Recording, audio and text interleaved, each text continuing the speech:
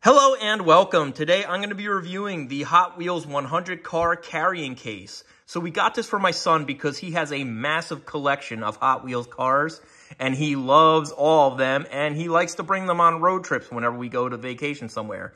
Um, I thought this was a good idea to keep his cars organized, but he also just loves carrying them around the house. So just to show you off a few of the features here, um, it clips on here and this will open it up. It actually opens like a traditional luggage carrier.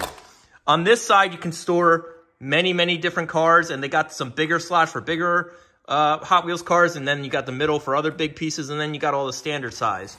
Then, even more storage, it's got these two little clips right here that you turn like that, and bang, this opens up into even more storage. So they can bring even more cars. So the uh, it says it can store up to 100 cars, and it, I can definitely testify to that because we've had it full.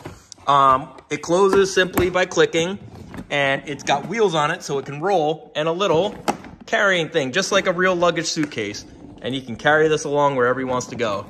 Overall, really cute addition to our Hot Wheels family here. My son loves it. I love it. Keeps things cleaner, neater. So it's a win-win for everybody. And definitely overall, I would recommend this.